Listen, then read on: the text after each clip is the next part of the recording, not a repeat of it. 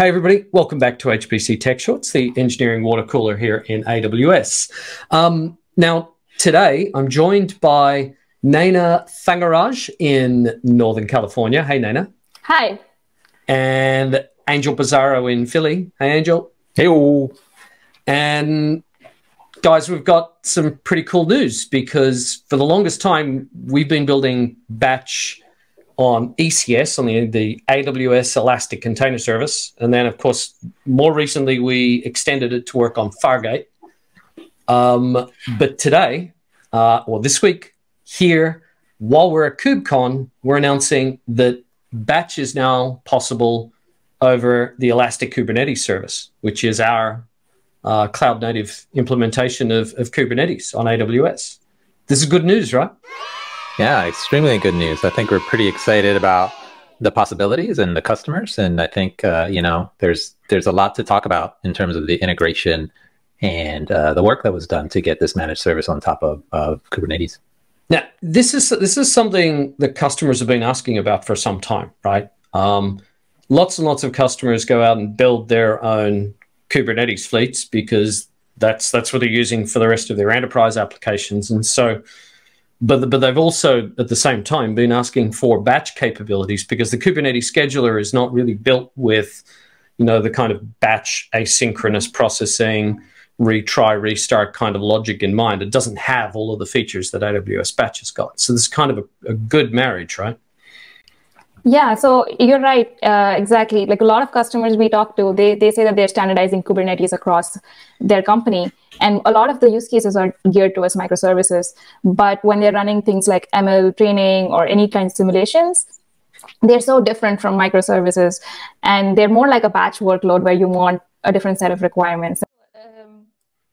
Yeah, I can talk a little bit more about the differences between how Kubernetes is good at managing microservices, but when it comes to batch workloads, the requirements are a, few, are a little bit different. When you're thinking about microservices, you can think of like it being constantly available for responding to a request.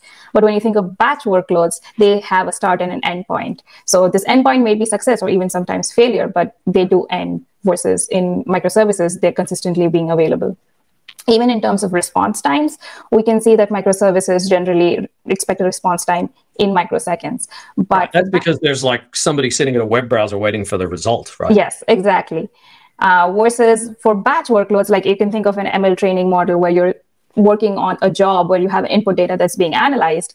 This could take sometimes even hours or days, which is not going to be calculated in microseconds for sure. Yeah, I think when we do a study of the average jobs, the average time scale of a of a of a you know so batch type workload will fall into single digit minutes, right? Uh, which yeah. is still hella longer than a than a microservice. you know, doing yeah, yeah that's right. they're not even comparable. Yeah, yeah. An airline passenger has stopped waiting. Well, an airline potential passenger, a ticket buyer, has stopped waiting for the website to respond at the several minutes point, and yep. we're probably shouting at our phone, wondering why why it hasn't worked. But. But for a batch workload, that's that's a normal state of affairs. These are complicated exactly. jobs, mathematically intensive, or something like that. Um, the other difference we see is that microservices are generally supposed to be highly available. So the application components are replicated in different availability zones. But when you think of batch workloads, you'd want to concentrate all your compute resources as well as data sources on the same availability zone. And there's a good reason for that. It's because you'd want um, fast access to the data as well as uh, you can want to bin pack all your jobs onto the same instance so that you can get a better performance and cost optimization out of it. So yeah. the model of how you'd separate this out would be so different for microservices yeah. versus absolutely. Other other things that, uh, to point out about that replication across availability zones, you, you typically want homogenized instances across those availability zones. And when you're talking about batch workloads, you want a diverse fleet for a couple of reasons. One, because you have a very different mix of jobs as you're going through the, the workflow itself. Sometimes you might need a lot of CPU, sometimes you might need a lot of memory. So you have these hmm. different uh, compute requirements coming in in terms of the fleet that you deploy versus a, a microservice where you really sort of want guarantees on what the what the capabilities are spread across availability zones. So you can think of the difference in terms of scaling needs. For a microservice application, you do see increases in scaling, but it's almost always like temporary and you can measure it on a linear scale. But when you think of batch workloads, we see customers first perform a proof of concept where they're tuning parameters for their analysis and they're running a small set of data through it. And then when they're actually ready, they run all their data sets through the through a batch workload, and that's called the production analysis. And that's what sometimes can take days. And because they're running all their input, uh, all their data through it, they might only do it just once. And even if they do repeat it, it's rather infrequent. Batch workload or a job has a start and an end. Um, so you'd have to track the job over its life cycle. So starting from when it's being submitted to when it's being placed on a compute resource, and especially in case of like spot failures or hardware failures, you'd want to make sure that you're retrying the job because these are tiny jobs a part of a much bigger analysis, and you want to make sure that all tiny pieces of these succeed.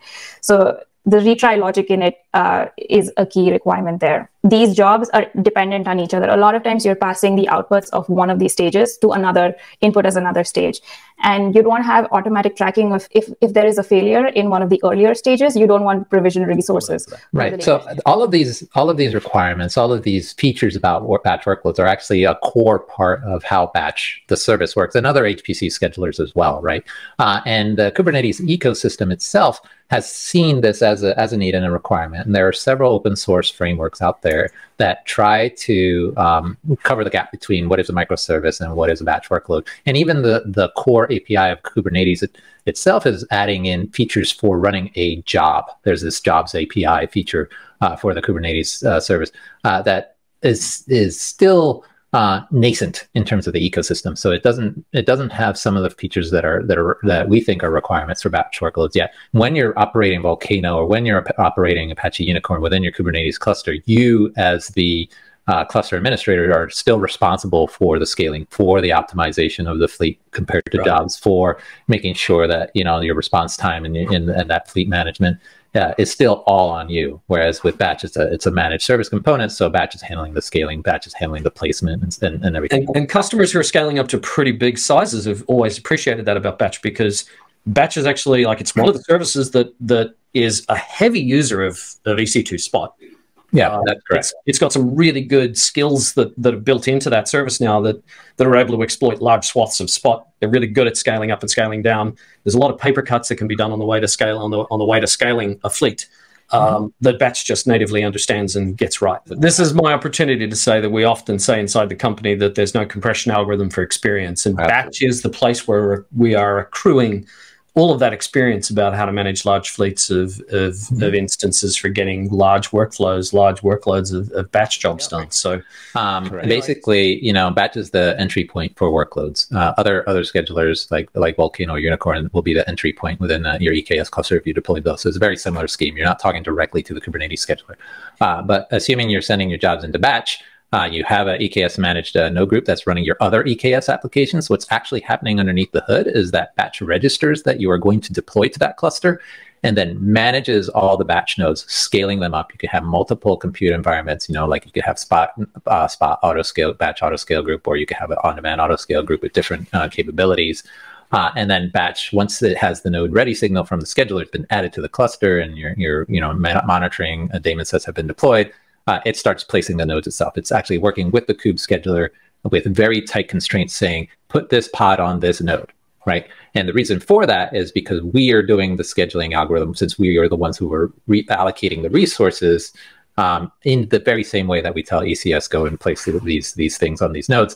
Uh, because again, you can't really decouple resource allocation and scaling from what's coming, the work that's coming. So we do a lot of sophisticated um, um, uh, you know, sort of management of that fleet based on the workload that you have told us you're about to run.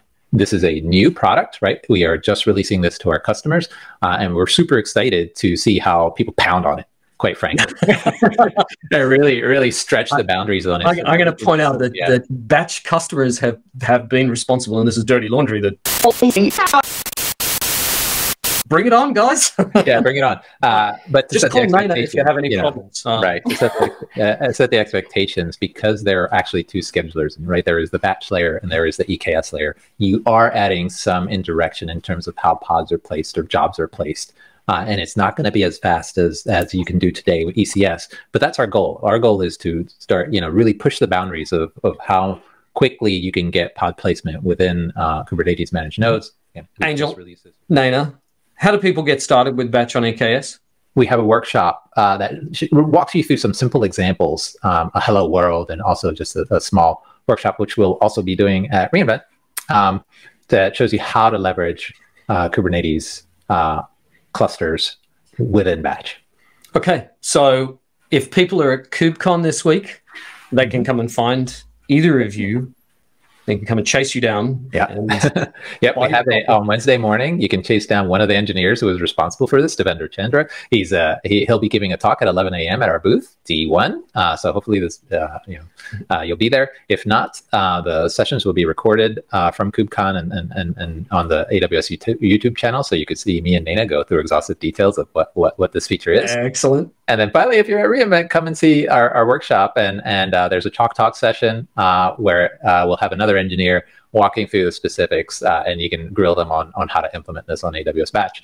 Uh, Naina, Angel, thank you for coming today and talking to us about this. This is really cool. Thank you for having us. All right. And with that, uh, if anybody out there wants to see us cover some future topics, uh, if there's any other topics you want to see us cover in some future tech shorts, uh, please come and find us on Twitter. Our DMs are open. Uh, or if there's uh, stuff that you want to see us deep dive into further uh, about this particular release today and, and some of the some of the features, we'll be sure to get Angel and Nana back. Till next time, thanks, guys.